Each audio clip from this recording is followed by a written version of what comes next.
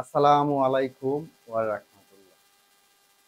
বন্ধুরা, আমরা অনেক জায়গায় ইলেকট্রিক হাউস ওয়ারিং করি, অনেক বাড়িওয়ালা আছে, অনেক মালিক আছে, তারা আমাদের দিয়ে ইলেকট্রিক হাউস ওয়ারিং করান। তো আজকের ভিডিওর বিষয় হচ্ছে ইলেকট্রিক হাউস ওয়ারিং এর যে পয়েন্টগুলো আছে, যেগুলো পয়েন্ট বলতে আমরা বুঝি লাইট ফ্যান ও বিভিন্ন ধরনের সকেট ইলেকট্রিক সকেট সেগুলি আপনার নিয়ম মাফিক। যেখানে লাগানোর কথা, সেখানে না লাগানোর কারণে অনেক সকেট পয়েন্টই আমাদের কাজে লাগে না। অনেক সুইচ বোর্ড আমাদের কাজে লাগে না। আজকের ভিডিওতে আমরা কিছু দেখানোর চেষ্টা করব। এরপরের ভিডিওর দাফে যে কোথায় কোন জিনিসগুলো লাগাইলে ভালো হয়, সেগুলো দেখানোর জন্য চেষ্টা করব। চলুন আজকের যে ভিডিওটা আছে, সেগুলোই আমরা দেখাই। এই একটা সুইচ বোর্ড সুইচ বোর্ড এখানে লাগানো আছে এই হচ্ছে সুইচ রেগুলেটর সকেট। সুইচ বোর্ডের সাথে একটা সকেট থাকে। এখন এই ঘরে একটা আছে ড্রেসিং টেবিল বা এখানে একটি ওয়ার্ড্রপ থাকবে, এইটাই স্বাভাবিক কথা। এখন এইখানে যদি একটা ওয়ার্ড্রপ রাখা হয় বা একটা ড্রেসিং টেবিল রাখা হয়, তো সেই ক্ষেত্রে আর ওই দিকে নেওয়া যাচ্ছে না। এই যে জায়গাটুকু আছে, এই জায়গাটুকু আমার কোনো কাজে লাগবে এখন পরিকল্পিতভাবে যখন সুইচ বোর্ড লাগানো হয় নাই, তা এখানে মিস্টেক হয়েছে। এই সুইচ বোর্ডটা যদি এই পাশে লাগানো যায়, এটা যদি এইখানে এইখান থেকে যদি আমরা সুইচ বোর্ডটা স্টার্ট করতাম, তো এখানে এসে সুইচ বোর্ডটা শেষ হয়ে যেত। এই জায়গাটুকু করা থাকতো। এইখানে যদি এক ইঞ্চি বাদ দিয়ে আমরা সুইচ বোর্ডটি ধরতাম, তো এখানে শেষ হইতো। এই যে গ্যাপটা আছে, এই গ্যাপটার মধ্যে এখন কোনো কাজে লাগতেছে না। তো এইখানে আপনার আপনি যখন একটি সুইচ বোর্ড লাগাবেন আপনার ঘরে আপনার বাড়িওয়ালা, আপনি বাড়ি বানাইতেছেন, তো আপনি চিন্তা করবেন যে আপনার ঘরে যে এক ইঞ্চি জায়গাকে আমি যেন কাজে লাগাতে পারি। তাহলে আমাদের পরবর্তী তে আমরা তার সুবিধা বুক করব। এখন এইখানে যে সুইচ বোর্ডটি লাগানো হয়েছে এটা তো বিল্ডিং যতদিন থাকে ততদিনই এই ঝামেলাটা থাকবে, তাই না?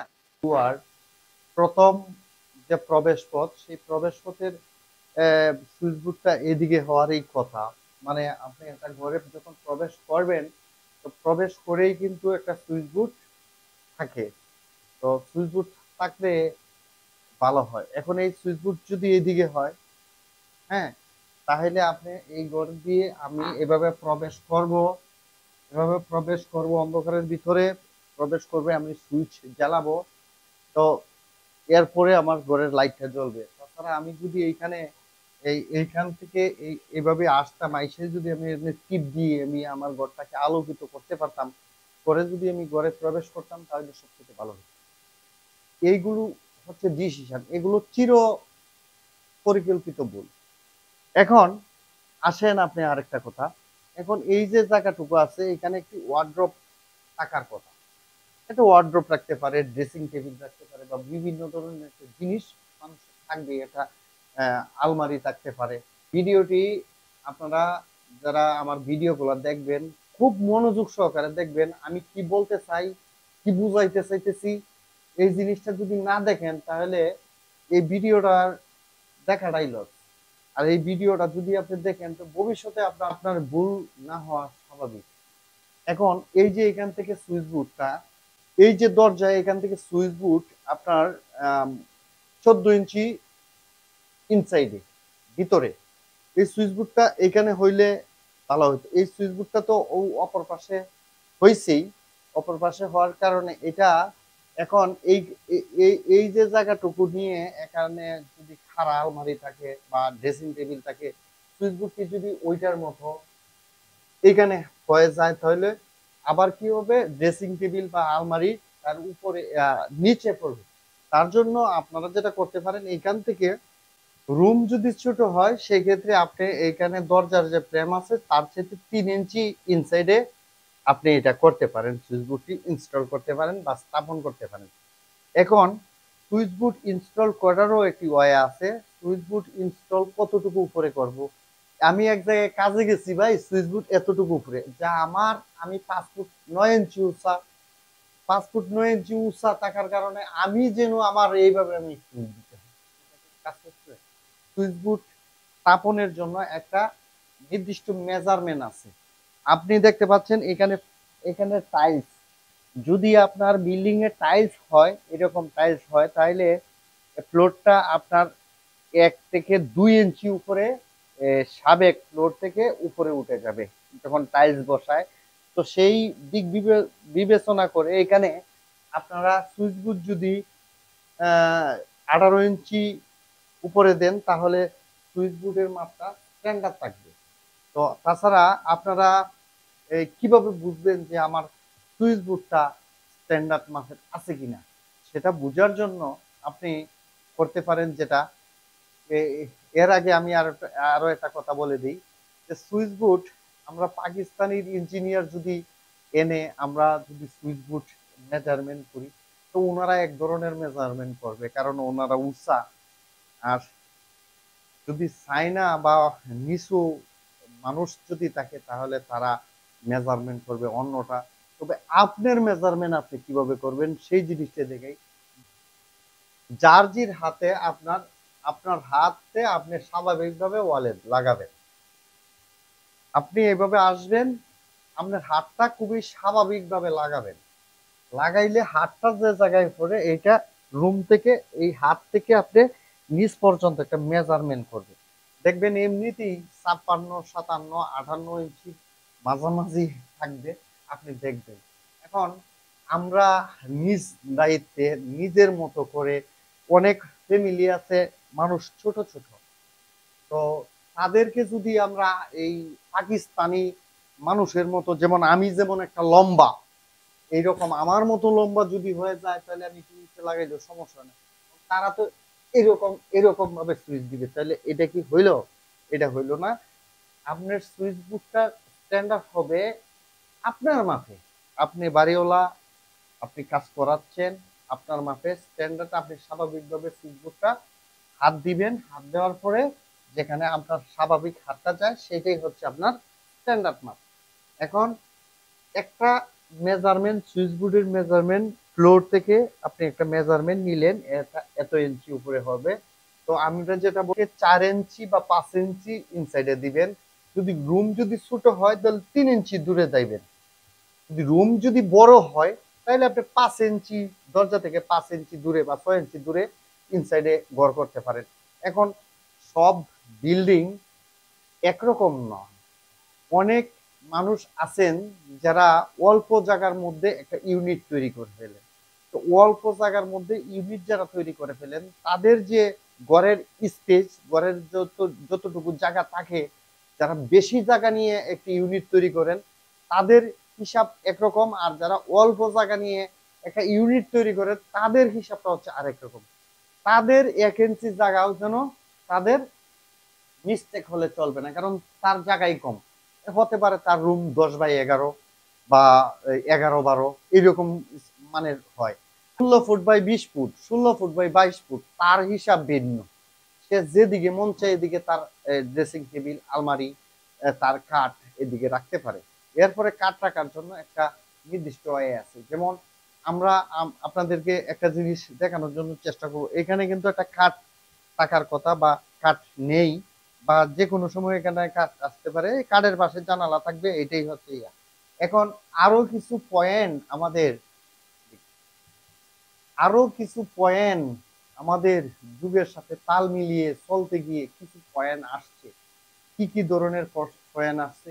আমাদের যে বেসিক ইলেকট্রিক পয়েন্ট হচ্ছে যে আমাদের ঘরে একটা বিল্ডিং এর তিনটা লাইট যেমন ওই যে একটা লাইট ওই যে একটা লাইট ওই যে পেছনে এই যে মাথার উপরে একটা ফ্যান ঘুরতেছে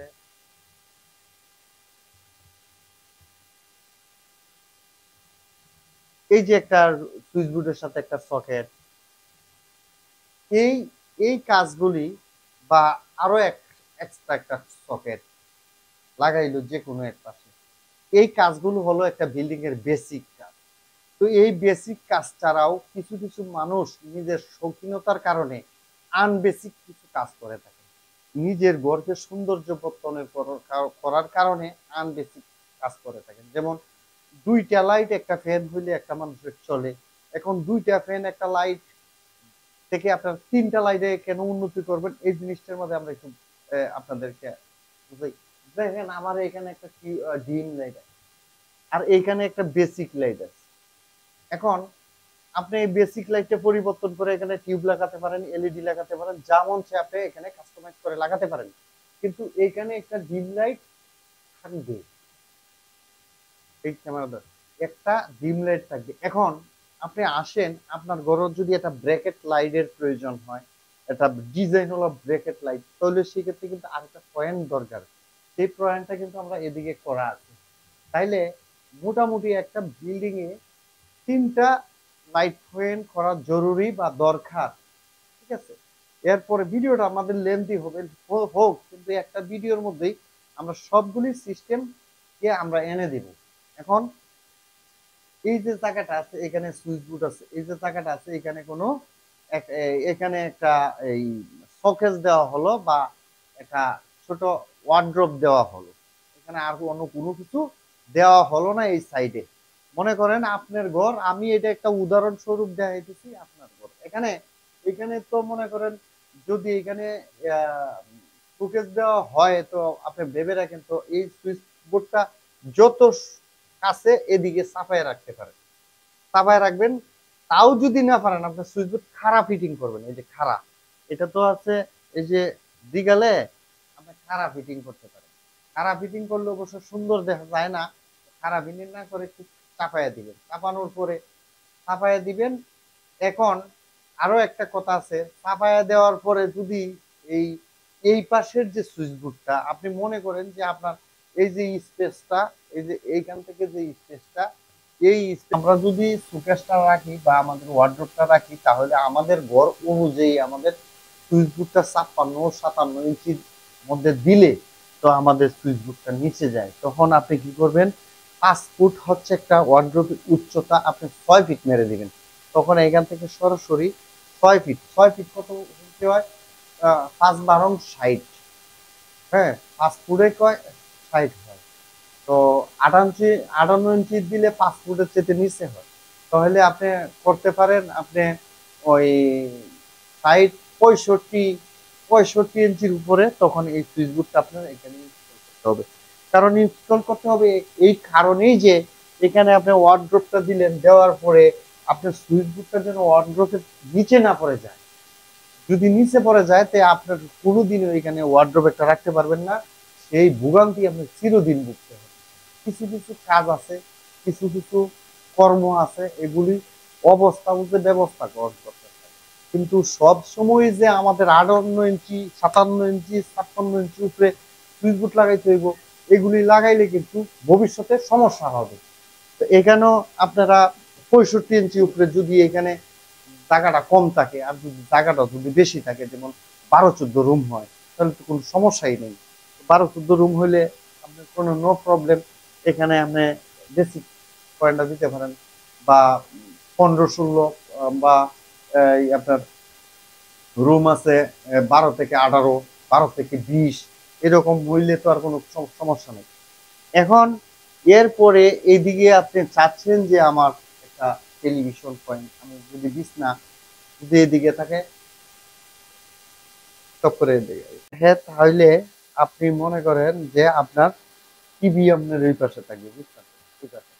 তো এই পাশে টিভি যদি এই পাশে থাকে, তো টিভিটা কতটুকু থাকবে? টিভি তো মনে করেন যে আপনি স্বাভাবিকভাবে খাটে বইলেন খাটে বইয়ে থেকে আপনি টিভি তো টিভি দেখার জন্য তো ভাই আরও অনেক কিছু আছে, যেমন টিভি দেখানোর লাগে ডিশ লাগে, ইন্টারনেট লাগে, রেগুলার কেমনি কি পয়েন্ট পুরো করে দিতে। থাকেন আমার ভিডিওটা, একটু দেখেন, ওইটিরও একটা না একটা সলিউশন খুঁজে বের করবে এখানে যদি মনে করেন আপনার ঘর ছোট, এখানে একটা টিভি লাগান এলইডি বত্রিশ ইঞ্চি আটচল্লিশ ইঞ্চি বাউন্ন ইঞ্চি ছাপ্পান্ন ইঞ্চি যেটা মন চায় লাগাইলেন আপনার পছন্দ। লাগানোর পরে এখান থেকে আপনি মনে করেন যে এখানে যে পয়েন্টটা থাকবে, সেই মানে সুইচ বোর্ডের পয়েন্টটা সেখান থেকে। তো আপনার যদি মনে করেন যে এখানে টিভিটা লাগাইলে সুইচ বোর্ডের যে পয়েন্ট আছে সেইটাতে নেওয়া অসম্ভব। তো এখান থেকে নিয়ে আপনি এই টিভির উপরে একটা পয়েন্ট দিতে পারেন, যেটা আপনি স্বাভাবিকভাবে যে টিভিটার নিচেই বা টিপ দিয়ে আপনি অন অফ করতে পারেন সুইচটা তো এখানে একটি টিভির পয়েন্ট দিতে পারেন। তবে টিভির পয়েন্টটার এসি লাইনটা কিন্তু ডান দিকে বের হয়। প্রত্যেকটা জিনিসের এসি এসির এসি লাইন এসির যে কারেন্টের তারটা, সেটা ডান দিকে বের হয়। টিভির যে কারেন্টের তারটা ডান দিকে বের হয় যেটাকে শর্ট বলা হয়। প্রত্যেকটা পয়েন্ট কিন্তু ডান দিকে রাখবেন। এখন আসেন আরও একটা কথা, যে আমরা দিনের পর দিন এটা মনে করেন একটা খাট, এটা একটু বিছানা, এটা বিছানা না হয়ে একটা খাট হইল। এখন আমি এখানে শুয়ে গেলাম। এই যে আমি এখানে শুইলাম। এখন আমাদের ঘরে অনেক ফ্যামিলি আছে এইভাবে শুয়ে শুয়ে আমরা ল্যাপটপ চালাইতে অভ্যস্ত বা আমাদের ফোন চালাইলাম বা আমার খাট থেকে এখানে একটা পয়েন্ট যদি থাকে আমার খাটের পাশে, তো আমি মোবাইলটা চার্জ দিতে পারলাম। অনেক সময় মোবাইলটা চার্জ দিলাম বা এখান থেকে আমি একটা মোবাইল উঠে গিয়ে চার্জ দিলাম না। এখন তো মানুষ অলসতাহীনে ভুগে। সেই ক্ষেত্রে কিন্তু এইখানে যে প্রত্যেকটা খাড়ের খাটটার এখান থেকে আপনার মিনিমাম আঠারো ইঞ্চি উপরে এখানে কিন্তু আপনি একটা পয়েন্ট দিতে পারে। প্রত্যেকটা বাসার মধ্যে আপনার এই পয়েন্টটা দেওয়ার জন্য চেষ্টা করুন। সেখানে আপনার আইপিএস লাইন আসবে ইনশাল্লাহ একটা আইপিএস দুইটা সকেট রাখবেন, একটা আইপিএস রাখবেন, একটা নর্মাল রাখবেন। অনেক সময় এই, এইখানেই দেখেন যে অনেক লুক আছেন যে এইটাই হচ্ছে অনেক লুক আছেন যে এইটাই হচ্ছে কাঠ, এখান থেকে কারে নিয়ে আমি কাপড় আয়রন করুন। তাহলে সেই ক্ষেত্রে এখানে একটা পয়েন্টের দরকার আছে। এখানে একটা পয়েন্টের দরকার আছে, এটা যদি কাট হয়, তো একটা আমার আইপিএস এর পয়েন্ট থাকবে, একটা হচ্ছে নর্মাল কারেন্টের পয়েন্ট থাকবে। এই পয়েন্টের জন্য একটা সার্কিট ব্রেকার দিবে। তো আমার এই খাটের পাশে সব সমস্যা আছে। এখন এই জায়গার মধ্যে আমি টিভি লাগাইলাম।